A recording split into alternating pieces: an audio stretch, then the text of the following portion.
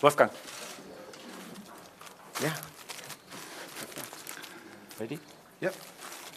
Ja, grüß Gott und herzlich willkommen zur heutigen Pressekonferenz des FC Salzburg. Man kann sagen, der Zirkus, wieder, der Zirkus ist wieder in der Stadt. Die dritte Runde in der Champions League Gruppenphase steht auf dem Programm. Die Roten Bullen morgen gegen den SSC Napoli. Pressekonferenz mit Jesse Marsch und Wax Wöber. Und wir freuen uns über eure Fragen. Simone mit dem Mikro. Allora, benvenuti alla conferenza stampa alla vigilia della partita di Champions League eh, ehm, tra il Salisburgo e il Napoli domani sera. Eh, qui con noi, partecipando alla conferenza stampa, c'è l'allenatore Mr. Jesse Marsh e il centrale difensivo Max Weber. Le vostre domande, per favore.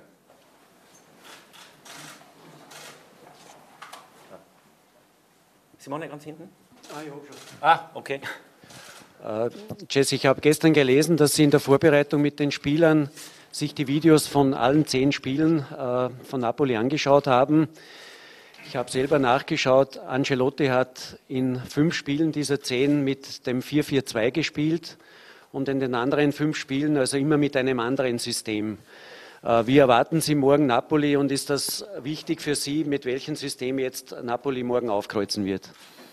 So, das System ist ein bisschen anders auf dem Blatt, aber nicht auf dem Platz.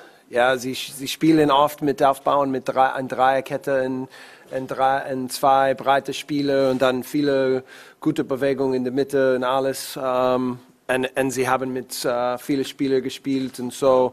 Die Art und Weise von, von den Gegnern ist besonders mit, mit der Qualität auf dem Platz und mit der Idee von, von der Trainer, aber es ist nicht so anders von Spiel zu Spiel. Ähm, und was ist wichtig für uns, ist zu verstehen, was, was die Gegner äh, möchte und, und, und natürlich, was, was möchten wir. Ok, allora la domanda all'allenatore è che io ho letto ieri um, che avete visto per la preparazione, avete visto tutte le dieci partite disputate del Napoli. Ancelotti in cinque di queste partite ha giocato col modulo 4-4-2 e nelle altre cinque partite ha, una, ha usato un altro modulo. Eh, come vi aspettate il Napoli domani? La risposta eh, il, il, modulo è stato sempre div- diverso, è diverso sul foglio che poi nel campo. Come si vede nel campo non cambia molto, eh, giocano normalmente con tre in difesa, fanno buoni mo- movimenti in metà campo, eh, hanno fatto giocare tanti giocatori. Eh, è una cosa speciale, si può dire, sì, ma con tanta e molta qualità in campo non ci sono state, come ho detto, tanti, non è tanto diverso come ogni modulo all'altro modulo. Eh, noi dobbiamo capire quello che vogliono e noi dobbiamo concentrarsi su di noi. Hubert Kiegler, bitte. Jesse, Salzburg, Salzburg hat eine sehr junge Mannschaft. Äh, was ist der Vorteil der Jugend und welche Vorzüge haben die jungen Spieler? Einer sitzt am Podium, äh, die jungen Salzburger Spieler im Besonderen. Ja, ich denke, mit einer jungen Mannschaft, der Vorteil ist äh, ein angstloses Gefühl auf dem Platz. Ja, und ein Spielen in, in Liverpool war ein bisschen schwierig mit diesem Thema, in, in ein, ein großes Stadion gegen einen, einen großen Gegner. Aber äh, jetzt, die, ich denke, wir haben viel gelernt von diesem Spiel und wenn wir spielen, und wenn spielen wir zu Hause, es ist ein gutes Gefühl für uns immer. So, äh, ich erwarte eine ein mutige äh, Leistung morgen und eine Mannschaft, das ist ganz bereit für, für ein gute, gute Gegner. So, wir sind sehr begeistert, sehr begeistert. Salzburger Spieler hier in Übersetzung, Hubert. Sì, allora la domanda all'allenatore è che siete una, una squadra molto giovane, può essere un vantaggio? La risposta sì, infatti è una squadra molto giovane, ma il vantaggio di una squadra giovane è che non hanno tanto paura in campo. Eh, l'eccezione era stata la partita a Liverpool, eh, eh ovviamente è stata abbastanza difficile in quello stadio, eh, giocando anche contro quella squadra fortissima, ma eh, abbiamo imparato da quella partita a Liverpool e qua a casa sappiamo che siamo forti, che ci sentiamo bene qua in casa, dobbiamo essere coraggiosi e siamo pronti per essere protagonisti domani qua in campo. Was, was speziell zeichnet die Salzburger, die jungen Salzburger Spieler besonders aus? Was unterscheidet sie vielleicht von anderen jungen Spielern?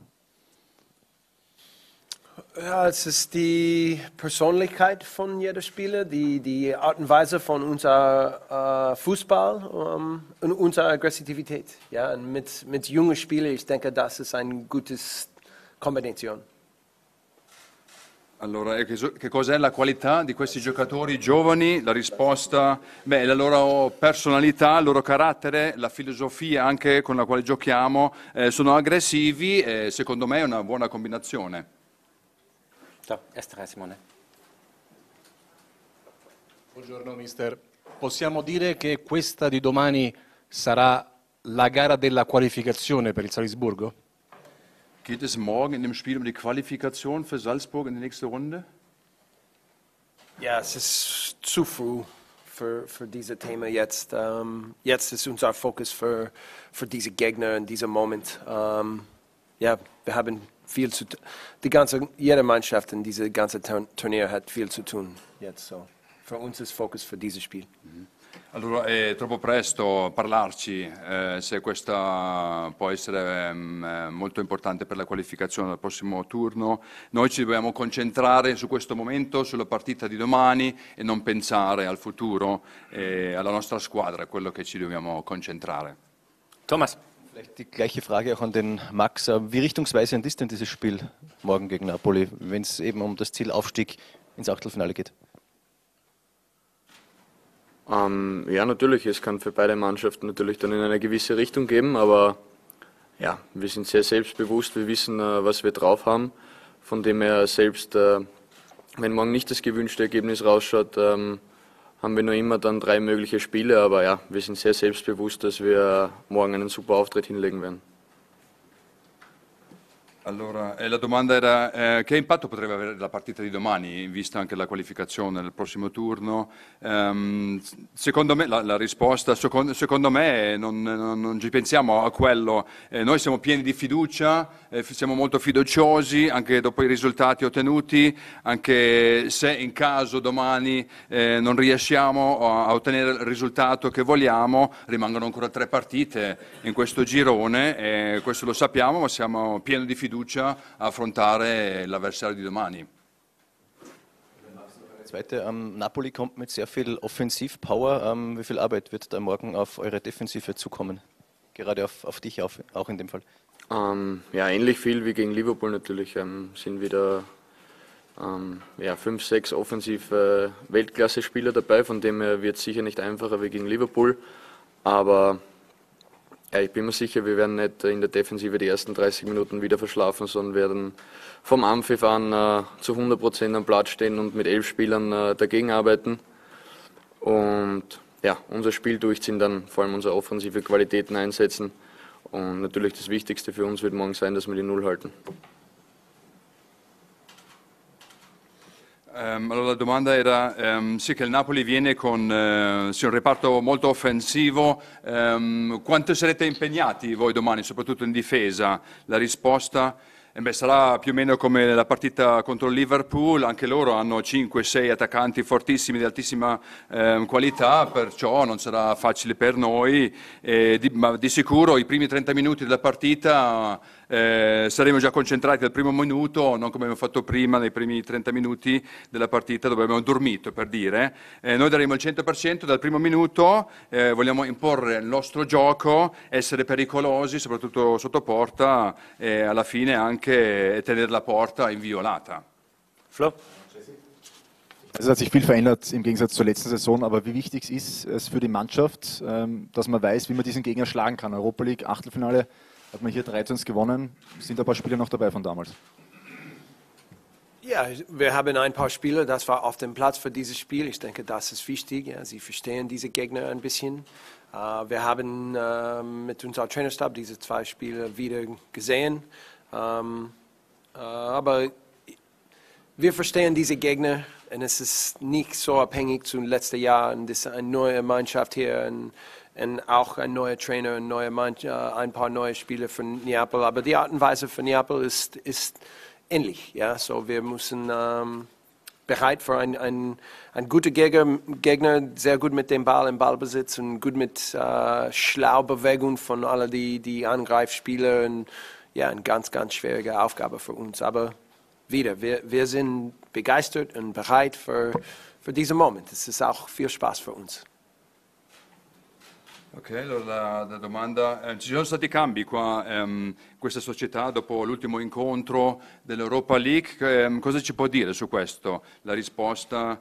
Beh, eh, ci sono stati dei giocatori che hanno disputato anche la partita eh, a marzo nell'Europa League e loro hanno avuto l'esperienza di giocare già contro questo avversario che ci aiuterà di sicuro e noi abbiamo studiato anche noi allenatori eh, le due ultime partite che abbiamo disputato contro il Napoli e beh, qua ha cambiato un po' qualcosina, nuovo, un nuovo allenatore, ma in, in, totale si può dire che non ha cambiato molto. Noi siamo pronti, siamo pronti a, um, a sfidare questo avversario eh, sarà una difficile sfida, questo lo sappiamo, ma siamo contenti, siamo anche pronti eh, di goderci una bella partita domani. Per favore. Salve per il mister. Mm, lei firmerebbe oggi per un pareggio e per poi giocarsi tutto nella gara che si giocherà a Napoli? Würden Sie ein Unentschieden unterschreiben und dann alles auf eine Karte setzen für das Rückspiel in Neapel? Uh, so, ja, es ist interessant. Mit die, die zwei Spiele nur zwei Wochen, äh, der Abstand ist nur zwei Wochen, ja, so, ähm, aber was ist wichtig ist, zu finden einen Vorteil in diesem Spiel.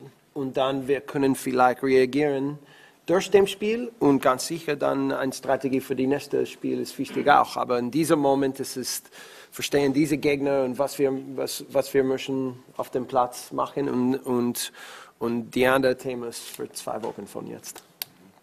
Allora, certo, è molto, è molto, interessante, visto che la partita di ritorno sarà poi in due settimane, ma noi, non so, se eh, vogliamo ottenere, cercare di ottenere un vantaggio in questa partita di domani, ci concentriamo su questa partita di domani e poi si vedrà come sarà la strategia eh, per la partita a Napoli, ma ora è importante che ci concentriamo sulla partita di domani e nient'altro.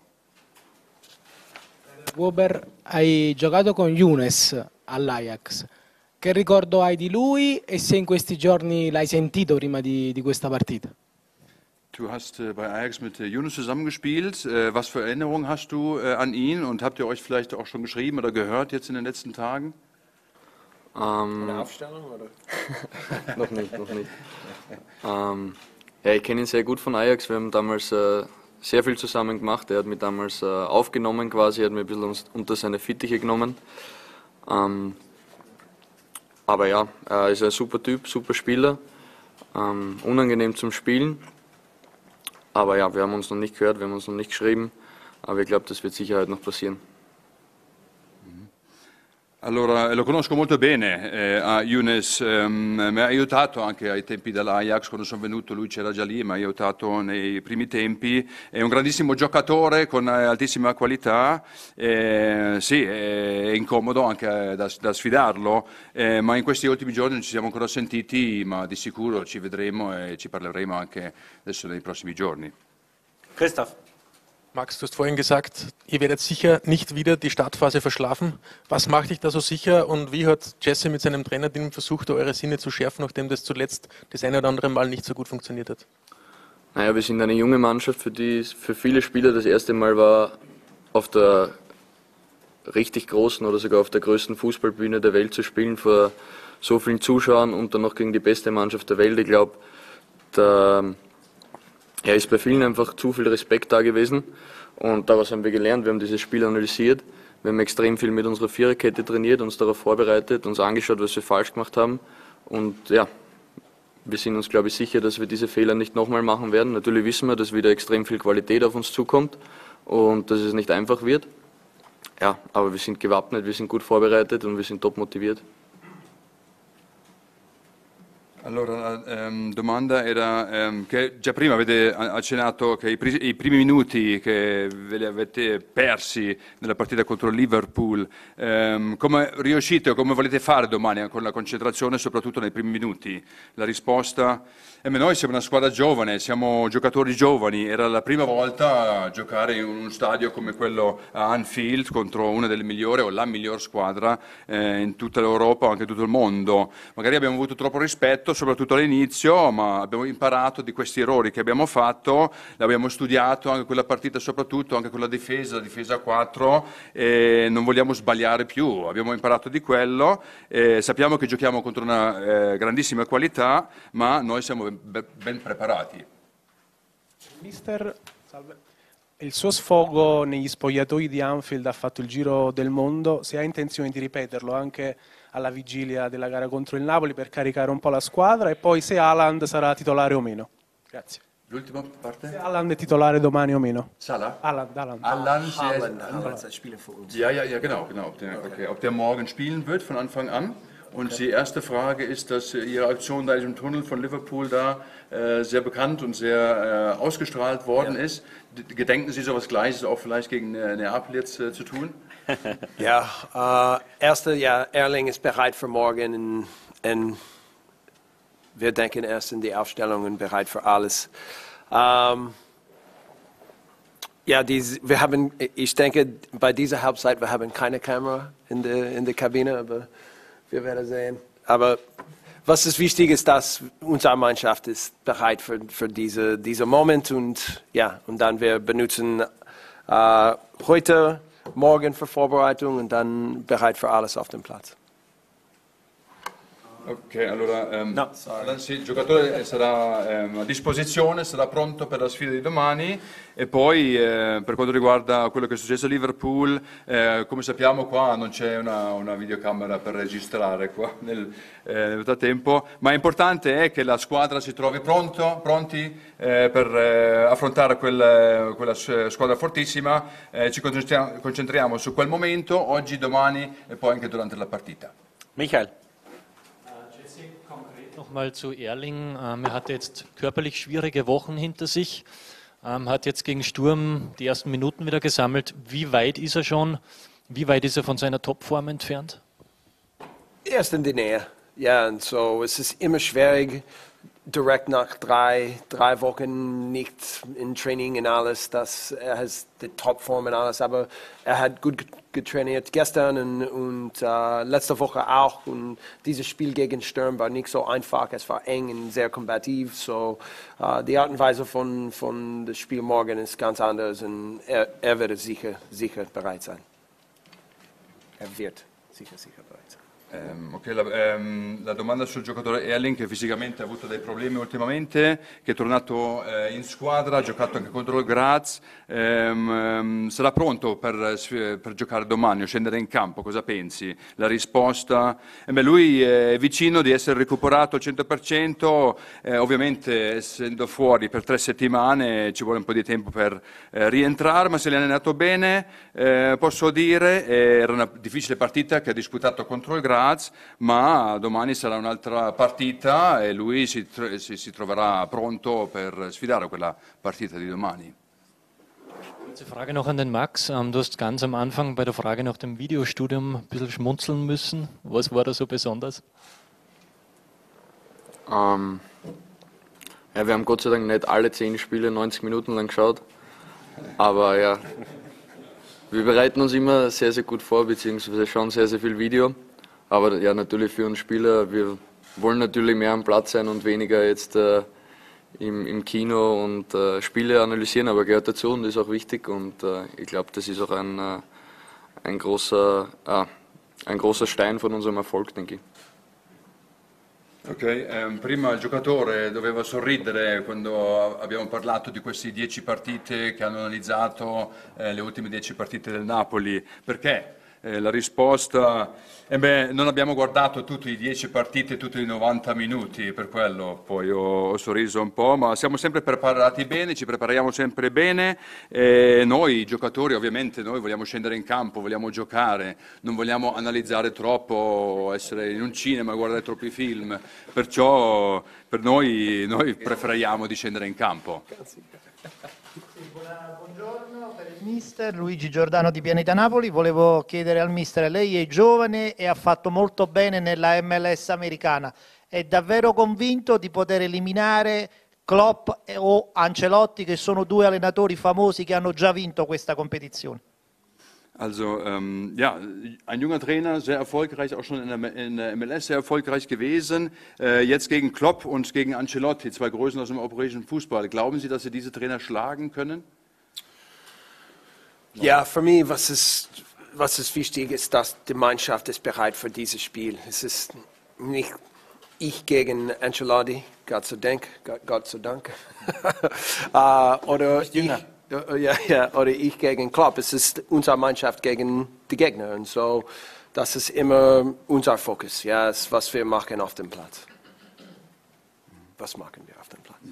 Allora, eh, per me non è importante, eh, per me è importante la squadra che si trova pronta a affidare questa, queste partite contro queste squadre. Non è Ancelotti contro di me o Klopp contro di me, il, siamo noi contro il nostro avversario e questa è la cosa più importante in questo senso. Uh, Napoli hat mit Mertens, Insigne, Callejon und Lozano vier Spieler in der Offensive, die kleiner als 1,80 sind. Aber dafür eine enorme Geschwindigkeit in den Angriffsfußball mitbringen. Ähm, wie kann man das am besten verteidigen und wie wirkt sich das auch auf die Aufstellung aus? So, Sie haben diese drei Spieler, Sie haben auch äh, ein paar große Spieler oder Spieler gut in der Strafraum mit Joriente und Milik.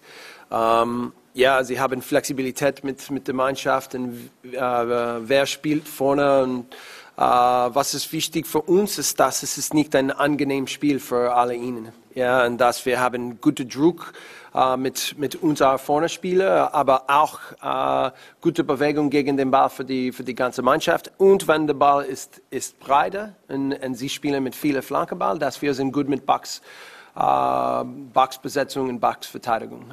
so, äh, nicht so einfach. Es ist einfach zu zeigen mit Video oder sprechen über auf dem Platz, aber die, die, die, zu, zu machen sicher, dass wir sind klar für, für die Moment und, und für die, die, die, Schnelligkeit für, für die Spielform von den Gegnern und von den individuellen Spielern.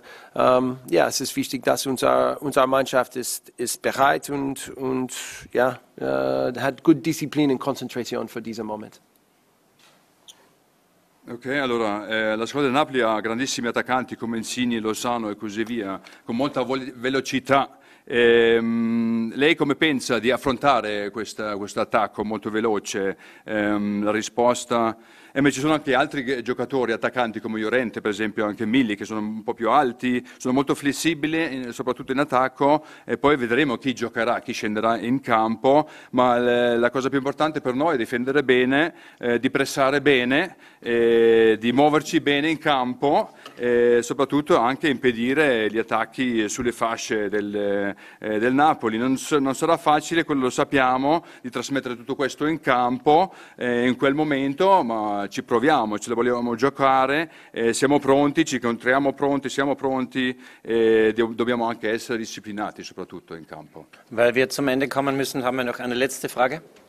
Buongiorno, una domanda per l'allenatore, sono Alessandro Alciato di Sky Italia. Eh, prima lei ha detto che non è una sfida contro Klopp oppure nel caso della partita di domani contro Ancelotti, ma una sfida fra le squadre, però quando lei vede Ancelotti sulla panchina avversaria, cosa pensa?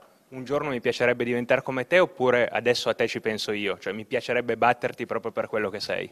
Gut, also Sie haben eben gesagt, das ist jetzt nicht äh, das äh, Privatduell quasi zwischen Ancelotti und Ihnen oder Klopp und Ihnen, sondern die beiden Mannschaften, die sich da duellieren quasi. Aber wenn Sie da äh, Ancelotti auf der Bank sitzen sehen, was denken Sie in dem Moment? Äh, denken Sie vielleicht, dass ja, ich möchte so werden wie er oder ich möchte ihn versuchen zu schlagen oder was sind äh, ja, die Gedankenspiele vielleicht, die Sie haben? Mit Klopp vielleicht, ich habe gedacht, er ist viel groß, sehr, sehr groß.